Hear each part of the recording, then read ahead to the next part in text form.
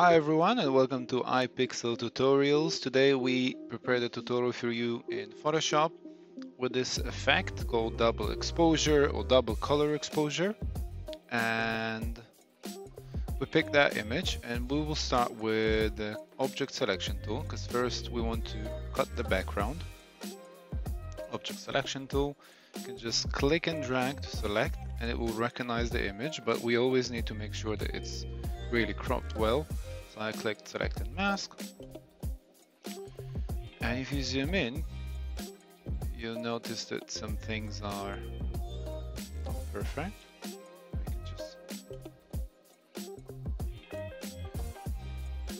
use the brush. Try the lasso. If you hold the alt or option key on the Mac that will be minus deleting those areas or plus to add.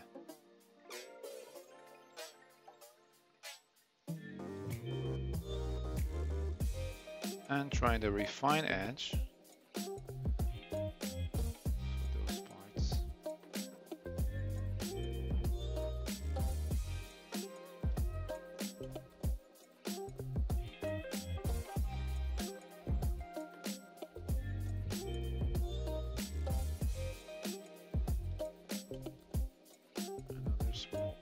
corner here.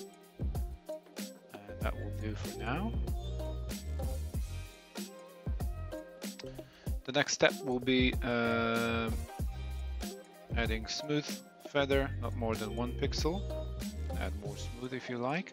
And if you scroll down, output to new layer. Output to new layer.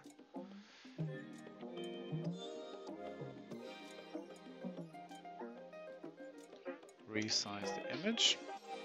And in the layers panel, I will duplicate. The shortcut will be Control O Command J to duplicate the layer and in the effects panel you will find blending modes blending options in the blending options RGB I can click on the R sorry on the G and B and leave the R on now nothing happened yet but if you move the image you will notice that it's completing the colors or showing the red and blue.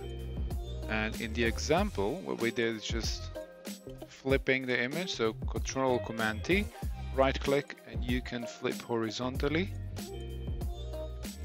Maybe resize it rotate.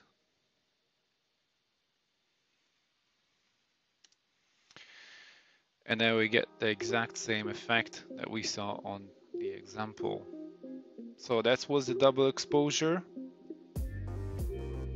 Or duotone effect. And yeah thank you for watching. For more videos tutorials you can search. We are uh, iPixel online graphic design and web design studio teaching online and in our studio. And thank you and see you in the next video